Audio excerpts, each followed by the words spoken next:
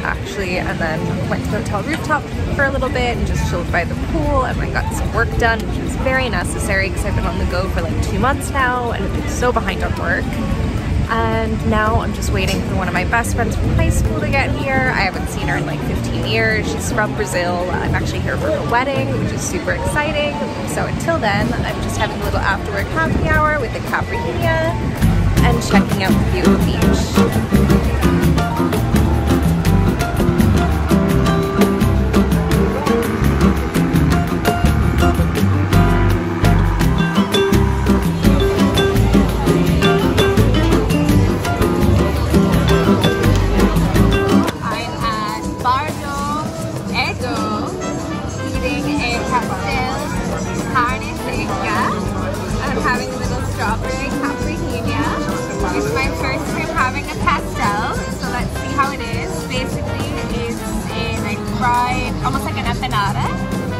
Uh, and there's beef inside. Let's see how it is.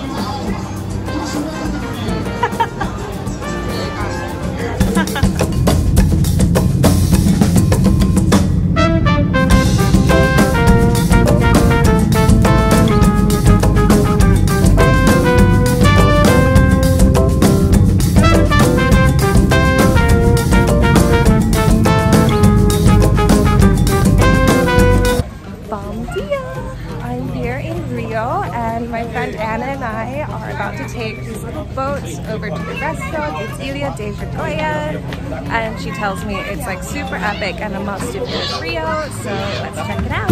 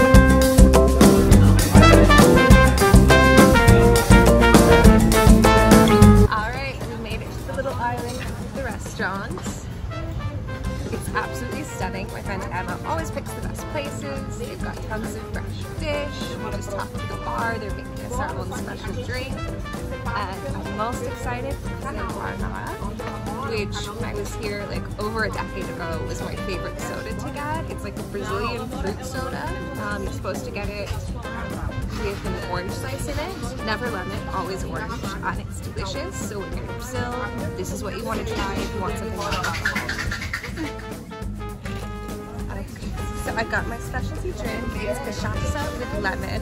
Uh, it's like a cachaça is like a Brazilian like liquor. Um,